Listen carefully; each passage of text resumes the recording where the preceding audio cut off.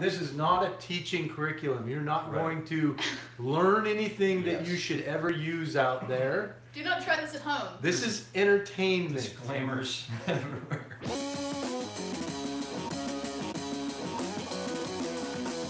Usually, there's a couple different kinds of sutures, right? There's ones that are you know curved needles. See that one's kind of curved, a little drawing on them. And there's ones that are straight. See how that looks a little triangle there? That's called a cutting needle. That's made for going through skin and stuff like this. So this is a needle driver. Okay, it's basically a little clamp, right? It's got these little clippy teeth on it to hold it together. Once you click them in, you pop it sideways to get it to open up. So I take this, catch the needle, like that. And then the trick is when you go, oh, I don't have any tweezers. Because you won't probably have tweezers either unless you have something in your Swiss Army knife. So you're basically picking through.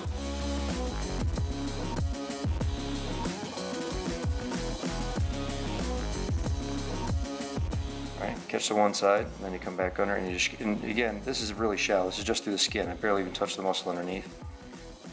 You get, kind of even it up. Come out the same side over here. Catch it again with the needle driver, kind of curl it out.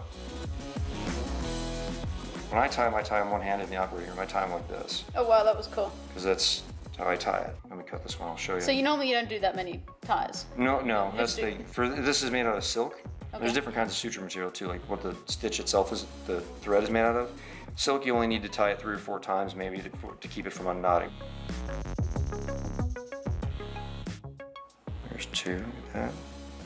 Catch it, bring it out. So what you guys would probably do is what's called a two-handed tie or an instrument tie, right? Easy, the easiest thing is an instrument tie. The one with the needle on it. Take this, the you take your needle driver, come in, you catch it, wrap around once like that, mm-hmm. And then grab the other end and you pull it through. Now we're gonna see how the tail's off this side now. Yep. Come the opposite way. Come under it, circle that way. Now grab it. You just keep going back and forth, and that's how you tie them down. So you're doing individual stitches. It's not like a like sewing something up where the thread keeps. Well, so there's a reason to do that, and there's a reason not to. If you're out in the woods, let's say let's say you did have to sew this guy back up again in the middle of nowhere. You'd rather have individual sutures because you're going to be walking and hiking and trying to get out of there, and you're not you're not going to be laying taking it easy. You're going to be working, right?